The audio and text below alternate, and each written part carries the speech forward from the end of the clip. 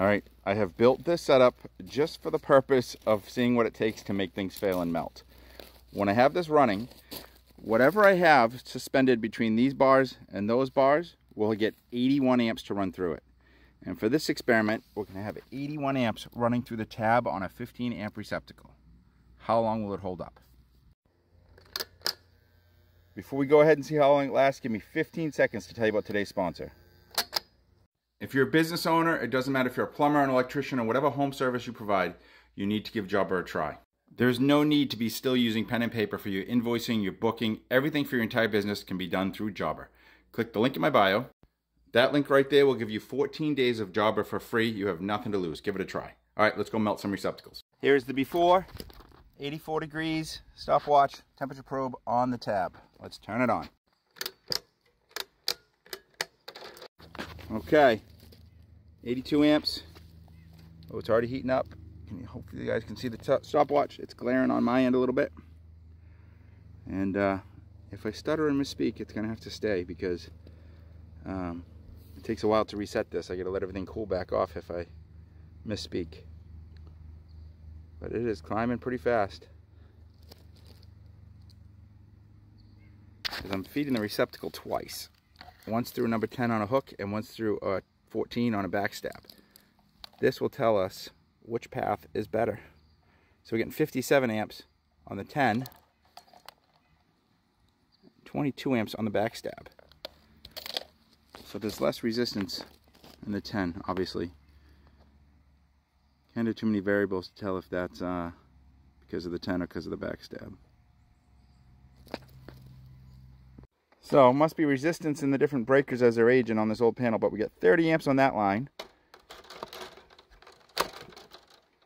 14 on that. 5 on that. 8 on that.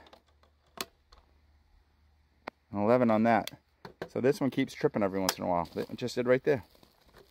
So now after that trips, we're at 24, 8, 23, 19. Five minutes in. I don't see anything wrong with that tab yet. Uh, maybe there's a little discoloration. It's kind of hard to tell in the sun. I don't know if you guys can see it on the camera. At 618, this is what the thermal imaging camera shows.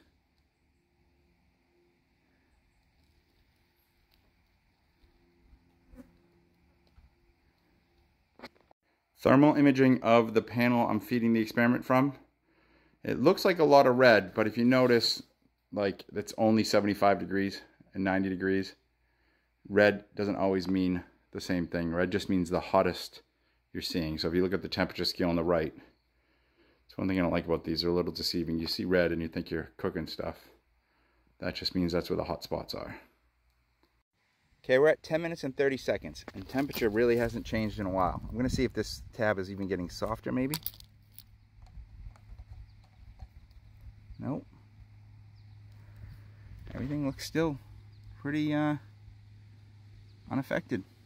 The heavy load on this panel is causing a voltage difference on neutral to equipment ground of four and a half volts because of the distance and the heavy load. So we're 14 minutes in, 14 and a half minutes in. Uh, I think I'm gonna call it that this is just can't, this can handle 80 amps. I don't know. For people who say those melt really quick, uh, if you put them on a 20 amp circuit, that's just silly. The issue is, I can't believe it, but my hot plates have come up to temperature and they're turning off. So the current is now dropping below 80 at the peak. Okay, I've shut it down.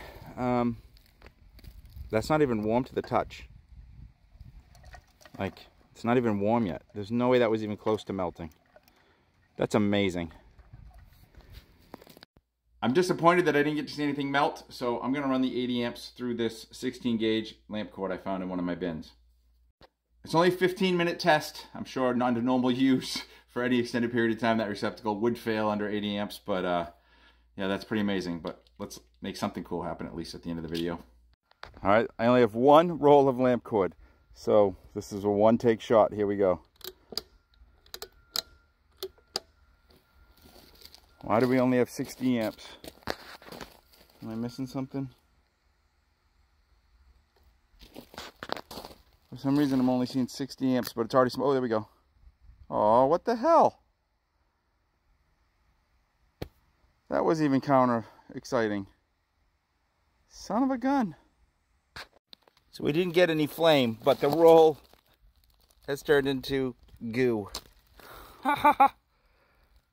That's pretty cool. Look at that's the inside plastic of the roll.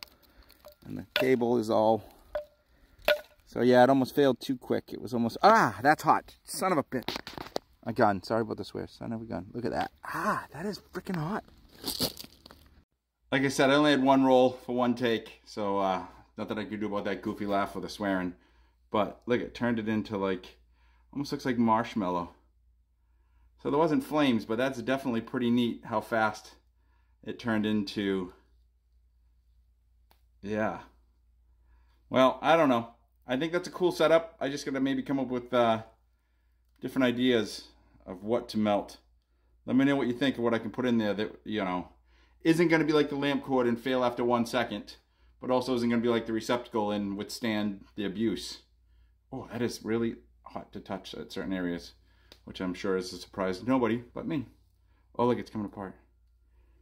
That is gooey. What was it on there? 10 seconds? That's amazing. All right. Thank you very much.